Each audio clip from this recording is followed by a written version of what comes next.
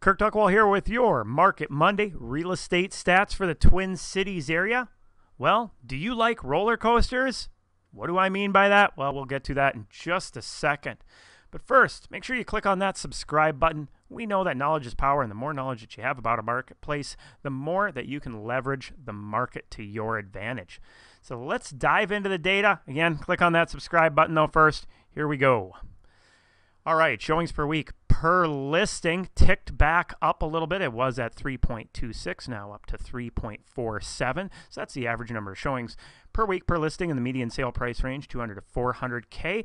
We're actually tracking again a little bit faster than we were this year. So you go back uh, four or five weeks, we were running faster, then down a little bit. Now ticking back up, showing that election swing. That's the little bit of the roller coaster that I'm talking about there. All right, pending sales. We have seen that start to drop off. Now it's still tracking at a faster pace than last year, but only up by 4.8%. So if we go back just a few weeks, we can see that was up 19.3 and then 20.3 as well. So starting to stabilize there a little bit more. Interest rates. So they have made a drop, hitting a record low for the 13th time.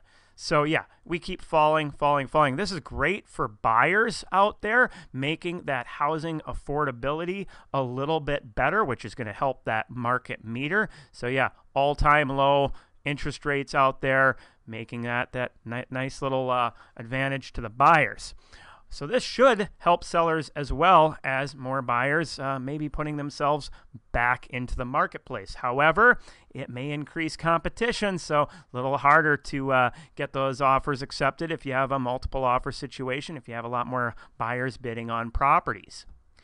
I want to step back for a second uh, from the overall market and just talk real quick about the condo market. Uh, Star Tribune came out with an article this week about it being a buyer's market out there in the condo market. And so we can see that inventory for condos. Now, this is very different than townhomes. What we're looking at is total homes for sale. We can see up 44.2% for condos. If I jump that over to townhomes, that's down by 22%. So that's tracking much more in line with the inventories that we're seeing. But the condo market tracking ahead 44%. Now, when we look at how that's affecting sale prices in the condo market, we can see that saying it's down 1.9% on that median sale price. However, if we look at the rolling 12 month, zero, basically unchanged as far as sale prices. So, not a huge impact, no bubble burst there.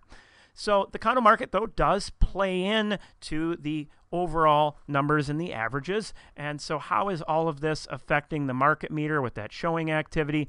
The market meter was at a week ago 6.16. So that's up a little bit from its uh, previous week to that, so three weeks ago. However, it dropped back a little bit as predicted in last week's video out there to just 6.1. So where is this all going? I think as mentioned last week, we're going to be staying pretty stable out there. These record low interest rates are kind of keeping that market moving along, you know, floating between uh, that stable market into that seller's market range. Hopefully, you found this information valuable. We have a class coming up. I'm going to put a link below to that online home buyer class. If you know anybody who is looking at maybe getting into the market, check out that class. It is free. It is online. It's going to be December 2nd at 6:30. You can register uh, within this link. Hope everybody has a great week. Click on that subscribe button. Take care. Be safe.